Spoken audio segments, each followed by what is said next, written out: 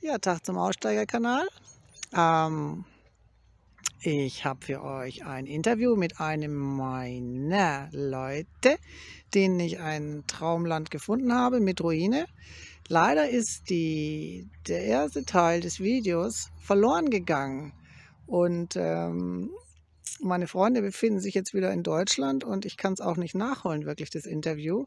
Möchte euch aber gerne den zweiten Teil des Interviews mal vorspielen ähm, wo er berichtet, ähm, wie alles so gelaufen ist zwischen uns. Vielleicht ist es mal interessant für euch. Ja, also dann viel Spaß. Dann sind wir auf YouTube äh, unter anderem auf den Aussteigerkanal gestoßen und äh, ja, es hat mir gut gefallen. Haben wir sie angeschrieben über YouTube und hatten dann unseren ersten Treffen, ich glaube Ende Januar 2020 haben uns so ein, zwei Stunden so ausgetauscht, unsere Vorstellung, ihre Erfahrungen, wie es alles hier so läuft. Und sind im Ganzen jetzt, glaube ich, sieben oder acht Mal in Portugal gewesen, bis jetzt, jetzt Montag, hier am 11. Januar, ist wirklich dann echt so echt Kultura zur Unterschrift zum Kauf kam. Und äh, man muss dazu sagen, halt, ja, war nicht umsonst sieben, acht Mal hier, plus super viel E-Mail-Verkehr, WhatsApp-Verkehr weil wir die ersten, ich kann es schon gar nicht mehr sagen, vier oder fünf Grundstücke von den offiziellen Webseiten, ich glaube, ist halt die Idealista oder so, inklusive Makler, immer, ja, Grundstück super, mit Ruine, äh, Baugenehmigung, alles da, gar kein Problem. Wir jedes Mal mal runtergeflogen, Termine, Makler, jedes Mal, ja, alles super schön und ihr kriegt alle Papiere, alles ist okay. Ja, und hat sich immer wieder herausgestellt, was in mehrere Wochen gedauert hat. Sie hat uns auch ein, äh, äh, mit einem Anwalt, der auch Erfahrung hat, nach Überprüfung der Papiere immer am Ende des Tages fehlten irgendwelche Papiere oder die Ruinen waren halt illegal.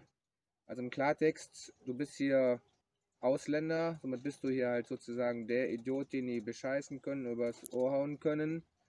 Äh, das interessiert die nicht, die Bohne, inklusive auch die Makleragenturen, auch die renommierten Makleragenturen, ist denen echt scheißegal. Hauptsache, die kriegen irgendwie dich in einen Vorkaufsvertrag gedrängt, dass die echt die nach dem Motto, ja, Vorkaufsvertrag, um das Grundstück zu sichern, dass kein anderer dir das wegschnappt, ne, musst du 15, 15, 20 Prozent anzahlen oder sogar am Ende des Tages komplett verkaufen. Das ist den, ja, irgendein Freund, ist kein Witz, ist wirklich so. Die Maklerin sagte, ja, ein Freund von mir arbeitet hier beim, ist halt im Amt hier im Bürgermeisterhaus, hat gesagt, das letzte Bier kommt und ne, du brauchst irgendwie vier bis sechs Papiere. Das sind ähnlich einerseits wie in Deutschland dem Grundbuchamt, aber du brauchst halt doch mehrere Papiere, speziell mit Ruinen, wie das Recht haben, wieder aufbauen zu können, zu dürfen. Das ist ein bisschen anders hier.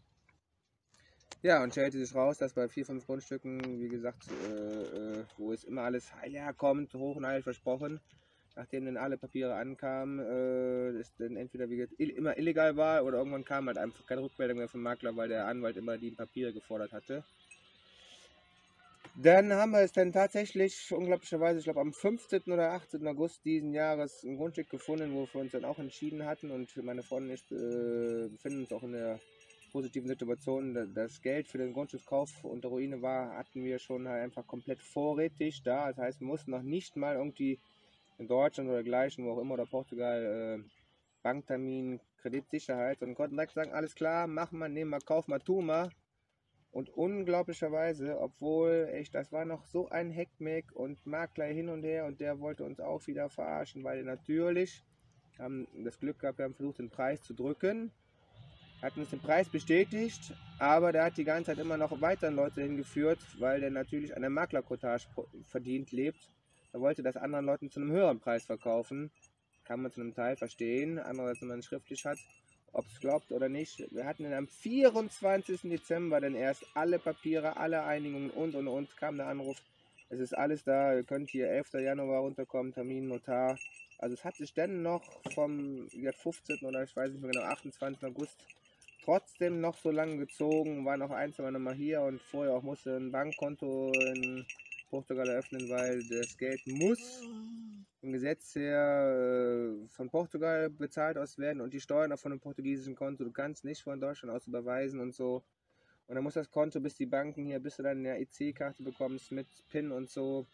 Die Karte und Konto ging zwar alles binnen einen Tag, einer Woche, nee, ohne Karte. Das Konto und Einzahlungen Aber bis ich die EC-Karte bekam, das hat, man wird es nicht glauben, ich habe drei oder vier Monate gedauert. Und das Problem ist, beim Kauf nachher beim Notar musst du die Steuern mit deiner EC-Karte bezahlen. Das, was sonst der Notar in Deutschland alles im Vorfeld übernimmt, das ist hier nicht so. Du machst es dann live am Tag und mit diesen Belegen, Ausdrucken, Quittungsbelegen von der Bank, Bankomat, das dann Finanzamt bezahlt wurde, die gibst du alle dem Notar und äh, ja, dann kann das erst bezahlt werden. Und das auch allein das, das, das Nachhinein ist natürlich nicht schlecht, dass es sogar noch so lange gedauert hat, von August bis Januar, weil es bei uns, glaube ich, bei mir, ja, ich habe die EC-Karte Oktober, November erst bekommen, gültig, ich hätte voll gar nicht die Steuern zahlen können. Also es ist echt crazy hier, man muss super aufpassen, es ist echt ein Irrenhaus, Affenhaus hier und die Wartezeit, die Zeiten ist nicht wie in Deutschland gewohnt, ne, zack, straight, elektronisch Grundbuch, Knopfdruck, sondern muss hier Zeit, Geduld, Geduld, Zeit und vor allen Dingen das aller, allerwichtigste, Vorsicht walten lassen. Also ohne die Lady, ohne die Hilfe aus dem Aussteigerkanal, wir wären so brutal abgesoffen, wir hätten wahrscheinlich, ich habe keine Ahnung, echt aus, ah, man will ja raus und Vorfreude und klar und hätten uns wahrscheinlich ohne Erfahrung eventuell echt in so einen scheiß Vorverkauf drängen lassen. Ich war einmal echt drauf und dran, hätte sie mir nicht und auch der Anwalt mehrmals abgeraten, meine Freundin auch. Also alleine wäre es wahrscheinlich gemacht und hätte wahrscheinlich ohne Ende Geld, Kohle verbrannt und wäre dann mega abgefuckt und dergleichen gewesen. Also ich kann echt nur sagen, mega, mega, mega dankbar für die Hilfe, Unterstützung, die Erfahrung. Also ohne professionelle Hilfe, Unterstützung oder Erfahrung äh, im Ausland, wenn du das nicht irgendwie bekommst oder hast, ey, ist verdammt schwer, musst du echt aufpassen. Da kannst du sowas von auf die Schnauze fallen, Geld verbrennen. Also ich holt euch auf jeden Fall Rat, Tat, Beistand und äh, glaubt niemandem so ungefähr, ne? macht euch schlau und, und, so viel ihr könnt, benutzt alle Seilschaften, alle Connection und wie gesagt, die Lady und der Anwalt, also ohne das äh, wären wir 100% baden gegangen. Also ich, ja, macht euch schlau und überhaupt. So, das war's von mir. Revoir. Ciao, ciao, ciao, ciao. Okay, dann danke ich dir und ähm, für euch bis zum nächsten Mal. Tschüss.